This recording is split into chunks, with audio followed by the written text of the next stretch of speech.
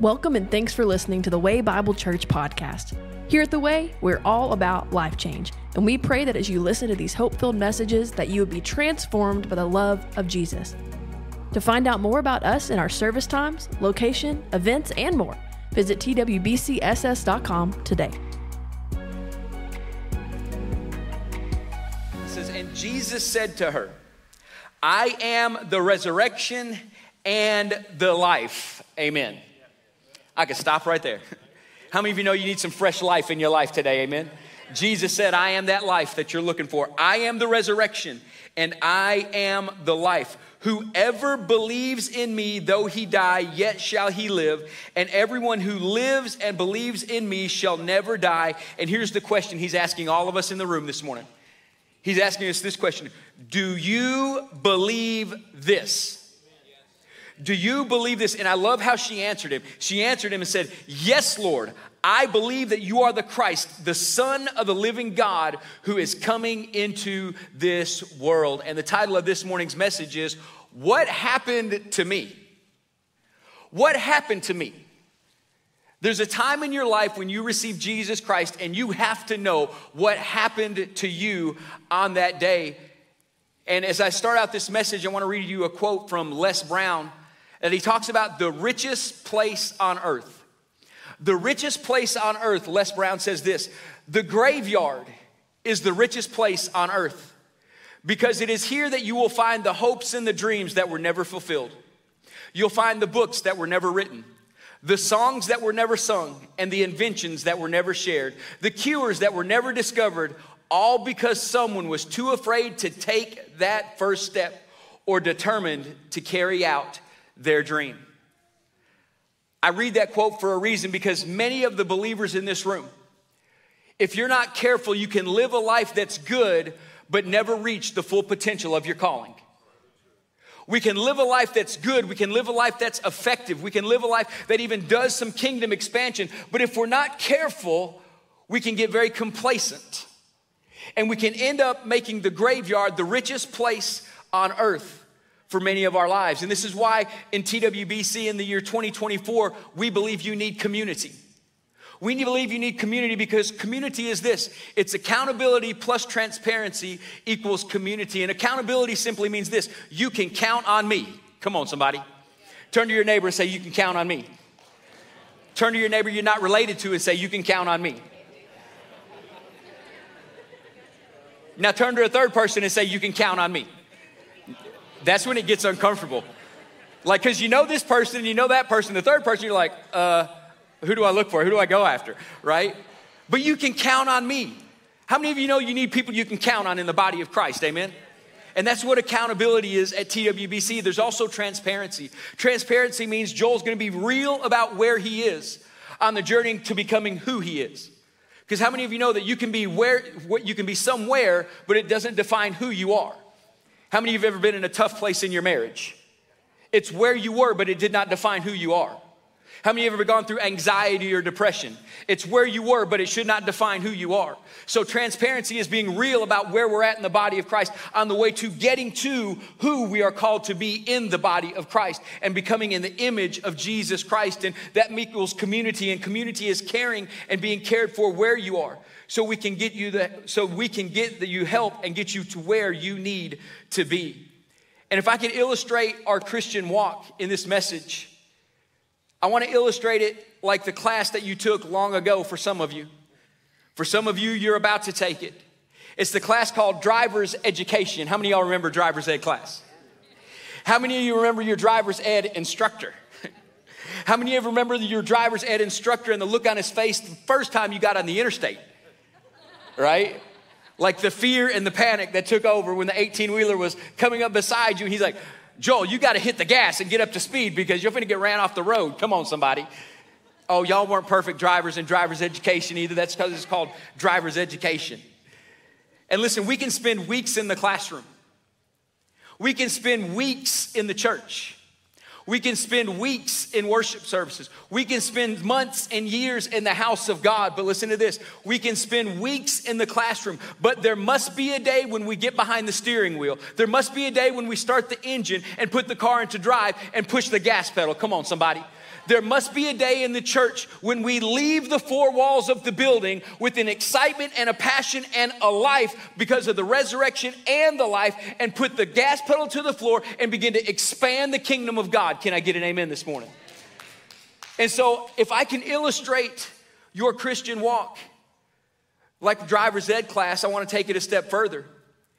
Many of us, myself included, the only reason I endured the classroom is because I wanted to gain the power and the authority to get the license. Now, Rusty, know this if I didn't have to sit in that class, I would have just been driving anyway. But I had to go through the class and go through the training to get the authority to drive.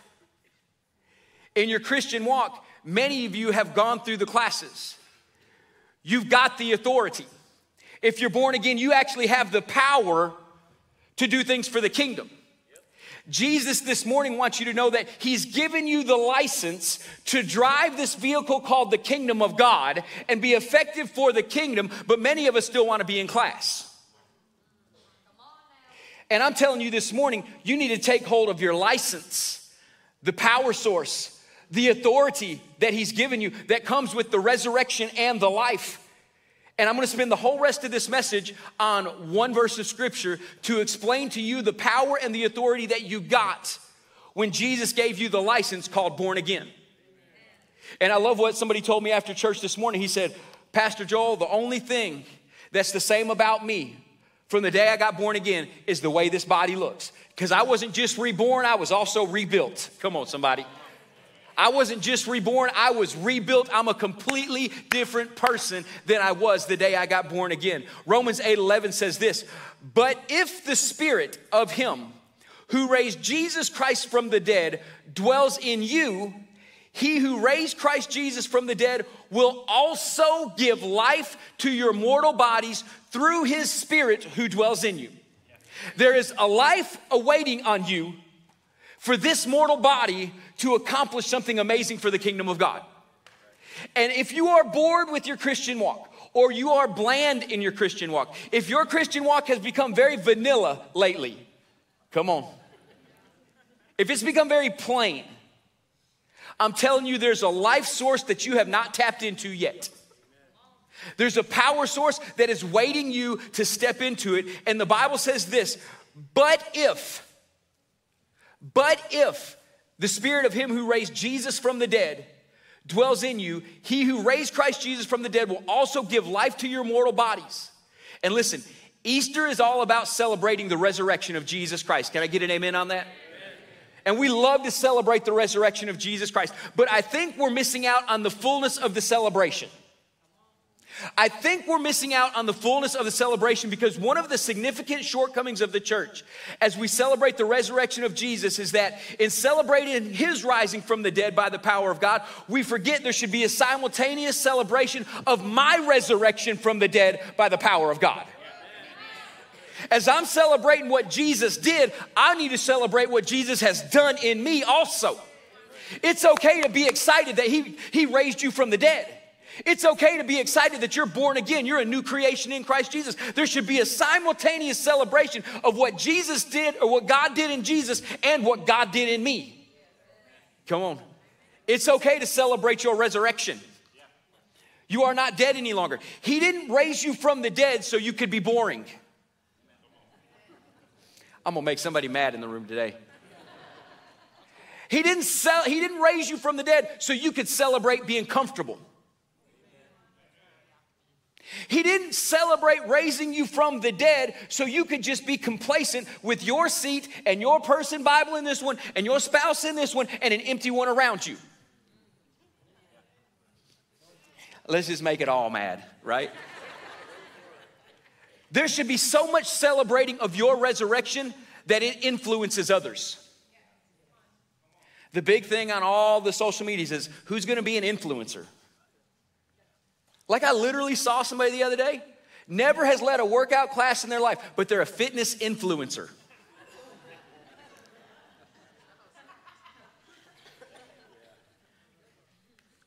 In the church, we need to be more than just an influencer. We need to be impactful. We need to be encountering. We need to be able to get our hands dirty with some folks sometimes. Come on. And it goes on to say this it says, But if, and many people read this, and because our mind is conditioned to think that the terms but and if are questioning terms, they seem to be terms of doubt even in the scriptures. And that being said, people begin to question the scriptures and the will of God for their life. But that term, but if in the Greek, when you break that down, the actual translation is this it's more over or more than. So when you read the script passage of scripture with more over or more than, it says, moreover, or more than this, the spirit who raised Jesus Christ from the dead. Come on. More than just Jesus rising from the dead, the very spirit that raised him from the dead is going to give life to your mortal body. So, more than just Jesus rising, Paul's writing to the Romans, more than just Jesus rising, there's a Joel rising. Come on, somebody. There's a Jeff rising.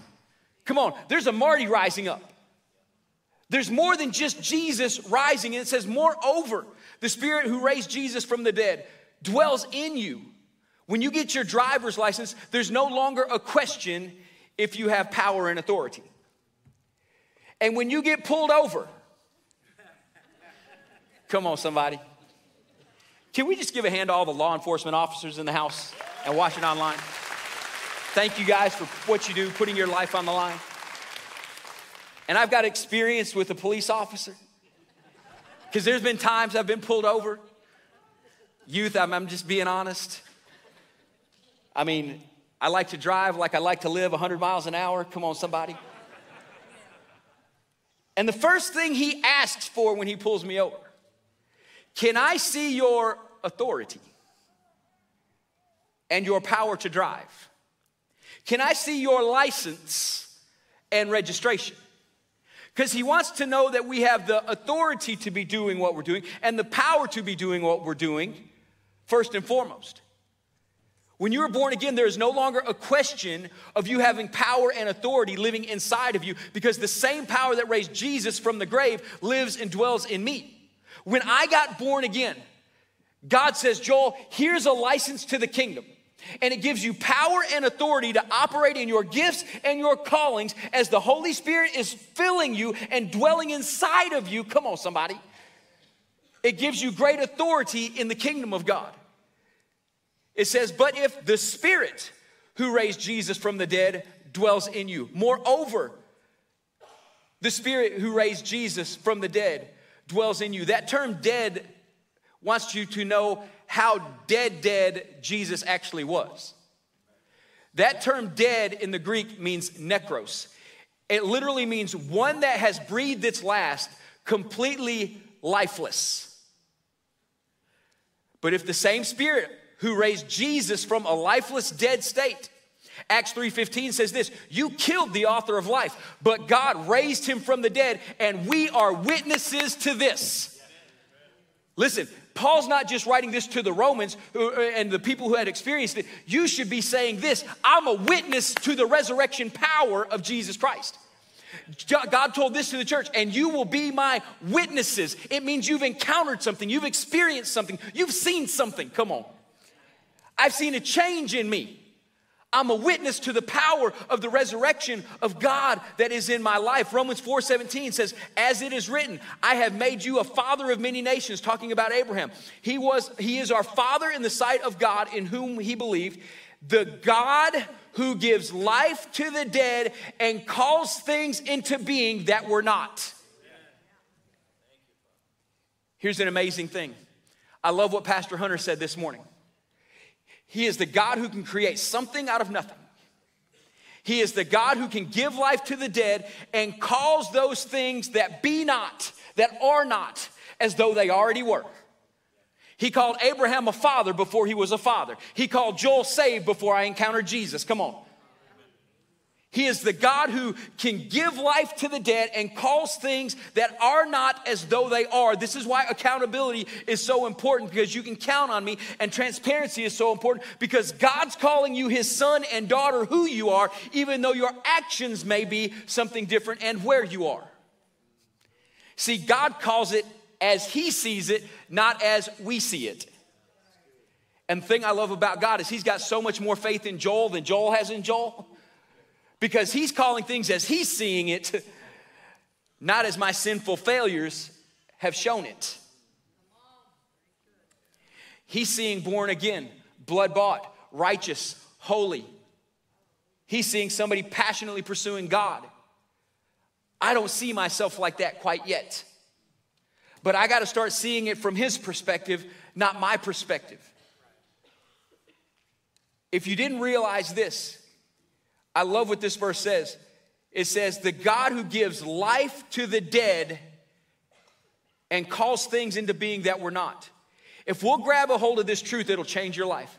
God specializes in giving life to dead things. God specializes giving life to dead things. And here's something you got to understand. Some of you have put a dream in a coffin that you should have just gave a pillow to. All right, I'm going to say it to this side. Some of you have put a dream in a coffin, you've called it dead when you should have just gave it a pillow. Because you've given up on God when He hasn't given up on that dream He put in your heart years ago. Quit giving things a tombstone when you need to give them a bed. Sometimes you need to just give it some time. Let it rest, let it grow, let God perfect some things in me till I can get to the point to sustain the actual dream that's been in my heart for years. Come on. I have people ask me this question all the time Joel, did you ever dream the church would be this? We hadn't even begun to start on my dreams yet. I haven't quit dreaming from day one. This is just the beginning of something God's doing. Come on, somebody. We're 25 years in and we still a baby. We're a big baby, but we're a baby. Do not give a tombstone to what God says you need to give a pillow to. There are some of you that have dreams in your heart of doing ministry around the world, going to different continents and preaching and teaching. There's some of you that want to do some things for the kingdom of God that are unheard of right now in the kingdom. And you've put that dream on hold because you've never seen it done before. I'm saying it's never been done before because God's waiting on you to do it. He's waiting on you to start it. He's waiting on you to take the step of faith of it. And God specializes in giving life to dead things. But if the spirit of him who raised Jesus Christ from the necros, the lifeless state, dwells in you. Now, here's what I love about that term dwells. That term dwells in the Greek means to take up habitation and to make residency at. When Jesus came to the earth, he stayed here for 33 years. Jesus took a trip to the earth. The Holy Spirit moved to the earth. I'm gonna say that again.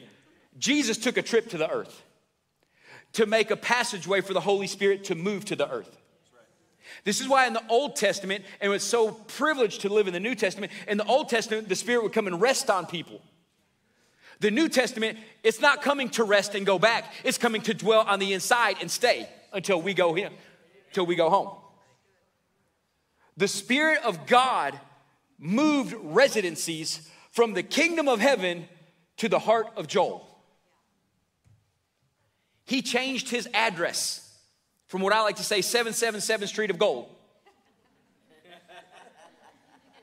to this body. In my flesh, I would say the Holy Spirit took a downgrade. But God says the Holy Spirit took an upgrade. It pleases the Spirit of God to live on the inside of you. He is more at home living on the inside of you than he's ever been.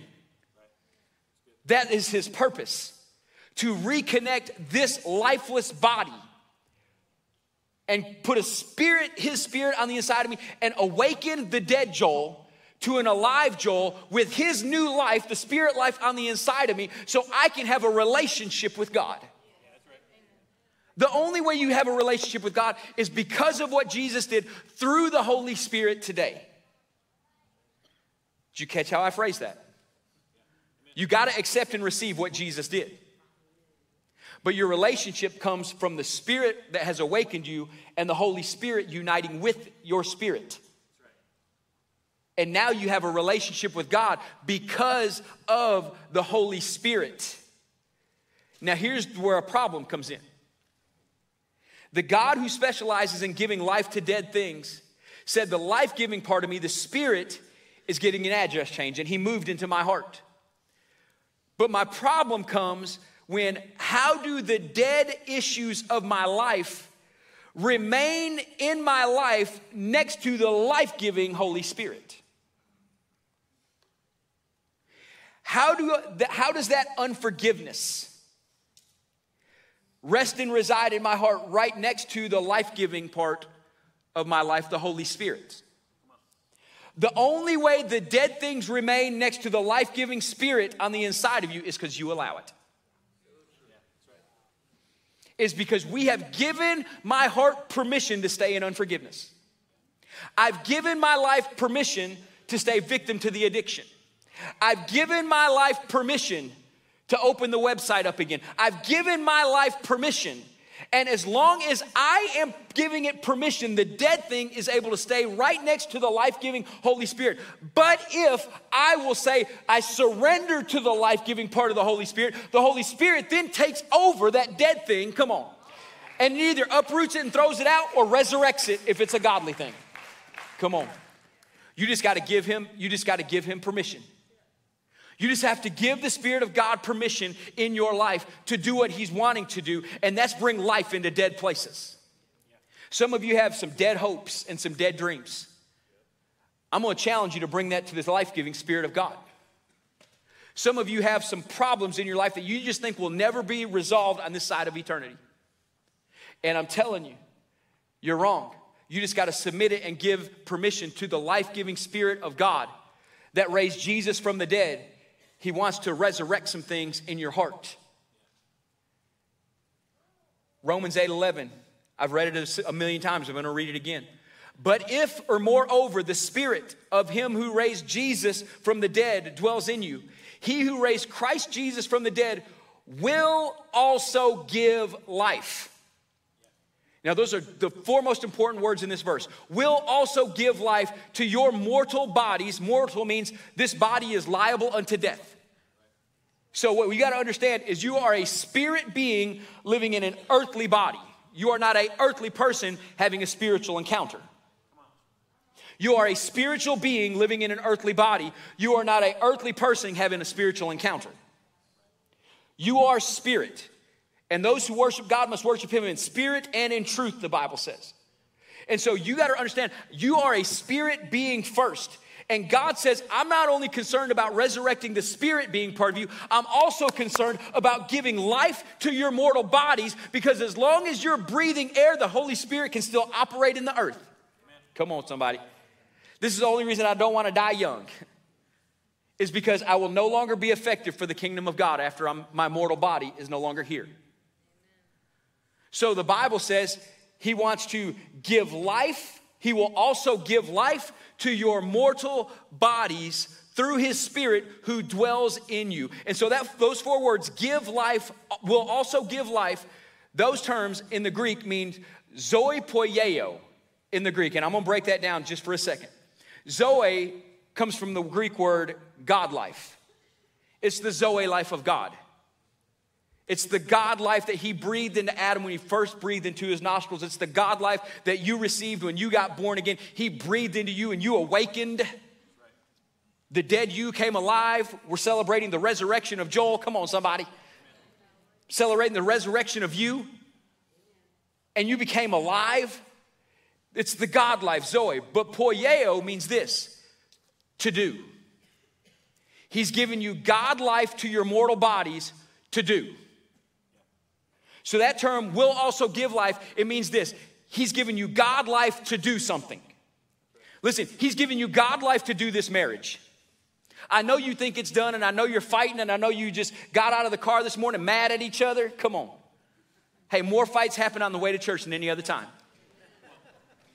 Well, why is that? There, there's a spiritual reason for that. If he can't defeat you, he'll distract you. So he couldn't defeat you because you're coming to church, but now that you're fighting on the way to church, it's going to be a distraction in church. So if he can't defeat you, he'll distract you. But the Bible just says he's given you God life. He's given you God life to do this marriage. I can't stay married if it's not by the power of the Holy Spirit. Come on, somebody.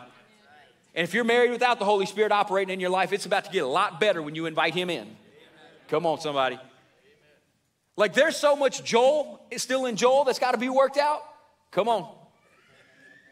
Like I need the Holy Spirit. And it's not that old hymn, every hour I need thee. No, it's every minute on the minute I need you. Come on, somebody.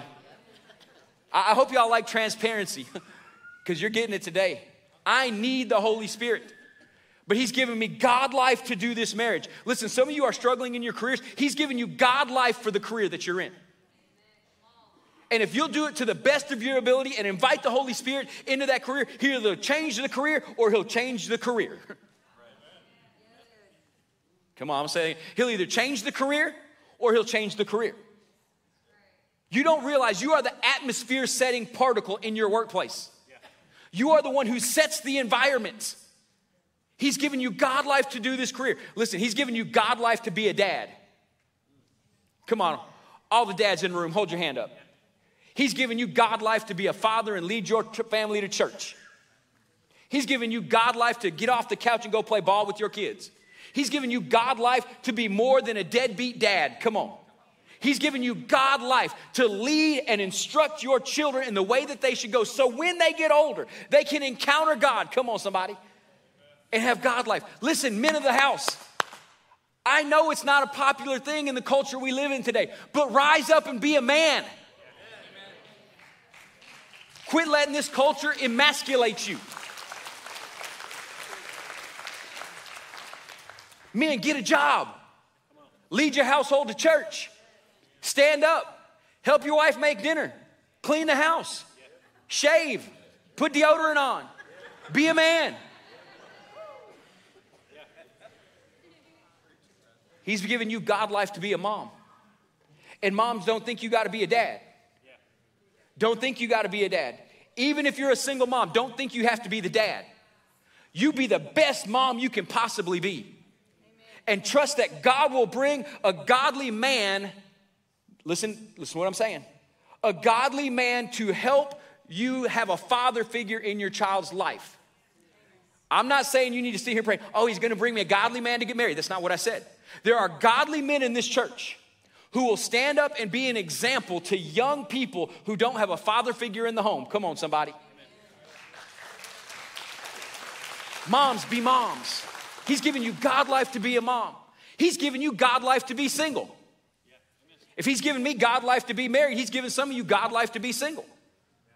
Quit looking for the next thing, the next one, the next encounter, the next experience. Make that encounter, that experience, Jesus Christ Himself. He's given you God life to overcome whatever challenges you're facing. You're an overcomer. You're more than a conqueror, the Bible says. He's given you God life to face whatever you're facing. Listen, people who tell you God's not going to put more on you than you can handle are a liar. And that is nowhere in Scripture. God will put more on me than I can handle because it will cause me to have to have a reliance on Him. Come on. But as soon as I surrender, the weight of the challenge begins to go away. John, my biggest struggle is I think I'm so strong in my own power, I don't surrender till I'm about to die. Because I don't want to bother God. I'm just going to go on. Quit talking about myself. I'm mad. God's given you God life for that battle. Some of you are battling sicknesses and illnesses and you're ready to give up. He's given you God life. He's given you God life for it. And you don't have to do life alone either if you're battling an ailment or a sickness or a disease. We have prayer partners that are up here. Don't do it alone. Amen. Don't fight it by yourself. If you're struggling with an addiction or a pornography or, or anything like that, don't fight it by yourself. Because if you could have already defeated it, you already would have. You need the body of Christ. We need community. He's given you God life to do this battle. He's given you God life to write that book. I believe we got some authors in this room that you haven't even begun to write because who would want to read what I wrote? Why not start? Why not now? Why not try? Why not step out there and just begin to put pen and paper together? Listen, it's even easier than that now if you got a computer. You can just hit speech dictate and talk. The problem is they don't the uh, Apple or or PC don't speak Texan. I've learned this. Like they don't speak Texan. You got to go back and do some corrections, okay? That's what Grammarly's for. Come on, somebody. You got to love it. Some of you need to start writing songs. Some of you need to start dreaming again.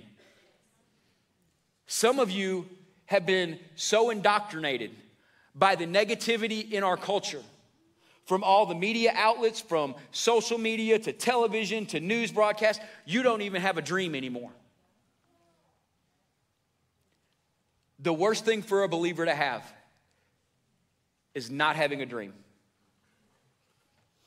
To live a life as a believer and not have a dream, not have an aspiration, not have a hope that God can use you for something greater than, you, than you're doing right now. And He's given you God life to dream again. He's given you God life to look at your spouse and dream again. And say, it's to get better. There's better days around the corner. Let's keep fighting. We are worth fighting for. He's given you God life to dream. He's given you God life to be the believer that this world needs. And I'm not talking about getting on a plane and going to South America. I'm talking about when you go to the grocery store. He's given you God life to play with somebody on aisle 13. When you're walking into the parking lot, He's given you God life to help somebody put their groceries away and pray with them in that moment. I remember doing more ministry in the parking lot of a grocery store when I was working full time at the grocery store than I ever did at an altar call on Sunday morning. Because I had a two minute captive audience. And my first question, as soon as we walked out the door, was Is there anything I can pray for you about today? And sometimes you get, No, baby, I'm good. And sometimes I would get in trouble because 20 minutes later, they're still crying, and I'm still trying to go back inside to sack more groceries. But He gave me God life to do it. He's given you God life this morning. And here's the greatest thing. And I'll close with this. Worship team, you can come on out. While we're celebrating the rising of Jesus Christ from the dead and his new life, listen to this. Heaven, heaven is celebrating the God life to do in your mortal bodies today.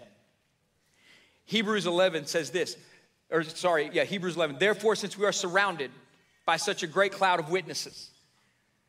You know what the Apostle Paul's doing right now? He's up in heaven as I'm reading his writing to the Romans, saying, I wrote that to you too. I believe in you just like I believed in them. You got heaven cheering you on. You got all the angels of heaven ready to move and be dispatched at your calling. Come on. You got heaven on your side. And all of heaven is not bemoaning you, thinking that you're being horrible. All of heaven is celebrating you, thinking, when will they just rise up to their potential? Because we see in them what they can't see in themselves. That's why it's called in our walk of the mortal bodies faith. It's gonna take faith.